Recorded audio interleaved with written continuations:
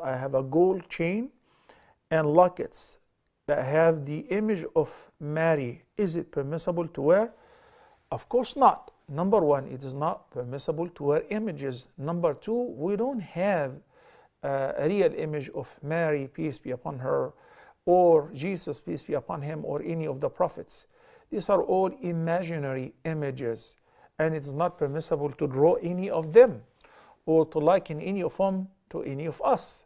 So if we haven't seen Mary, peace be upon her, on what basis you draw her and or you carve her image on uh, um, a gold chain or anything similar to that.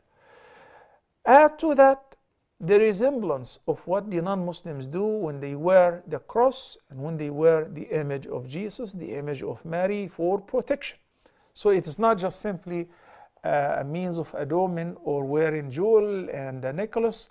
Rather, it is perceived as an amulet or talisman. And the Nabi sallallahu alayhi wasallam said, Man allaqa faqad ashrak. Whoever wears anything with the intention of or hangs anything, uh, whether from his neck, from his mirror in the car or in the house, as means of protection has indeed associated partners to Allah in worship.